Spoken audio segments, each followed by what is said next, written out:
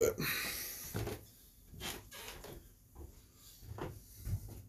can see me better now. That's probably a little too much. Look at all this stuff on top of the bar that you never see. Look, there's our other Starlight stuff. More Starlight stuff. Lots of Dragon Ball Z. Obviously Stitch. Uh, there's a bunch of pop figures. Empty boxes and the Tiki blow up palm tree over there.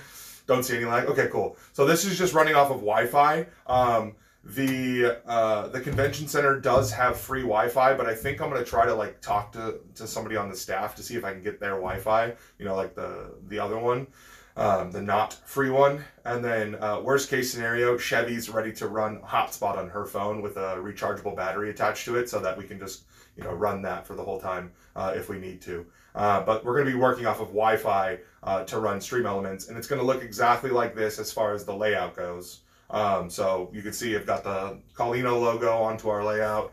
What up, Texas Cryptid? Tex in the house. Uh, and then we've got the, the switcher. The switcher that we use on our, uh, we used to use on the, the PC streams is there. It's back.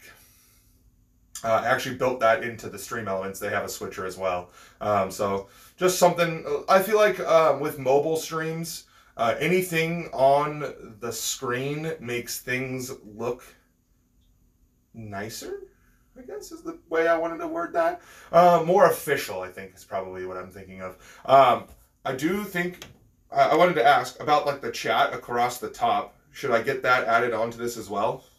Because I can do that. Or at least like a, a side box for chat. You're meeting another food and drink streamer tonight for dinner. Actually leaving the house. Are you able to say who you're meeting? Are you able to say?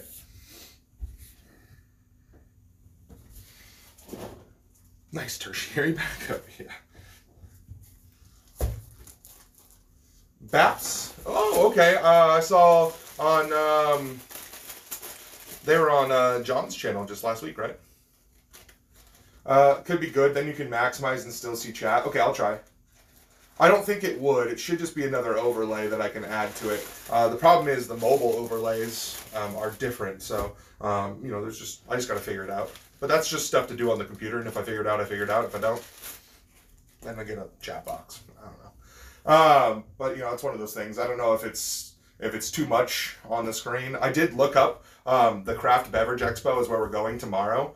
Um, I did look up. Uh, event starts at 6:30 is when doors open for us. Um, there's oh they they have listed now a hundred plus vendors from Pittsburgh and um, people that distribute in Pittsburgh. So it doesn't sound like we're going to be getting too many folks that um, aren't available already in Pittsburgh, which is a little disappointing because you know it's always fun to try new stuff, but it should still be good. Uh, 6:30 p.m. Eastern time. Yep, 6:30 p.m. Eastern time is the doors. Um, so that's the goal for us to start. They're gonna have uh, snacks.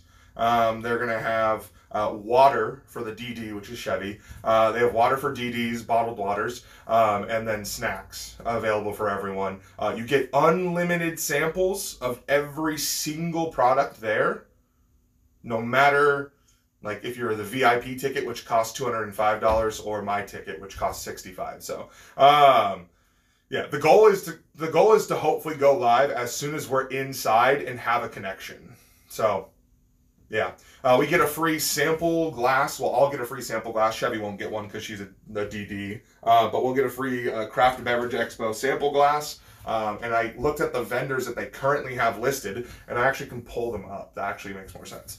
Um, Craft Beverage Expo. I'll pull them up because they actually had uh, quite a few people on the listing. Um, I know Wigle is there, um, so we've talked about them. Maggie's Farm is there, but I got the full list here. Um, okay. Let's bring this one up. Uh, JAS Distilling, established in 2019. JAS Distilling.